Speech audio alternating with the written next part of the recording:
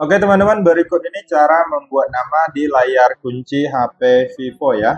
Langsung saja kita masuk ke tutorialnya, pastikan teman-teman simak video ini hingga selesai. Nah, langkah yang pertama, teman-teman silahkan masuk ke pengaturan.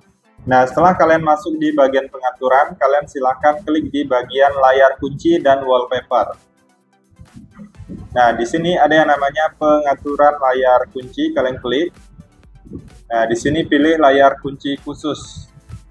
Nah, di bagian ini ya teman-teman ya, kalian klik di bagian bawah ini, lalu pilih tanda tangan, kemudian kalian klik di bagian icon pensil, lalu buat e, misalnya nama kalian atau apa pun yang ingin kalian tulis ya teman-teman ya. Nah, lalu kalian klik OK. Nah, selanjutnya kalian klik di, di layar, kemudian klik terapkan. Uh, sorry, sebelum klik terapkan, kalian bisa klik juga di bagian jam ini. Nah, bisa ubah modelnya.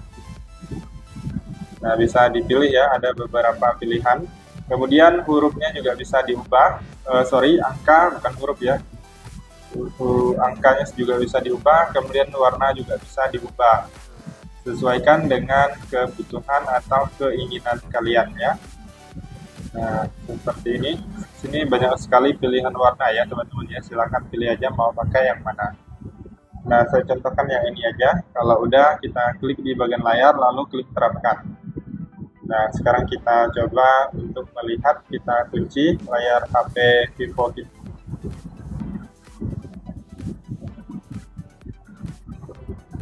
Nah, teman-teman bisa lihat ini dia hasil dari uh, yang kita ubah tadi ya, teman-teman ya.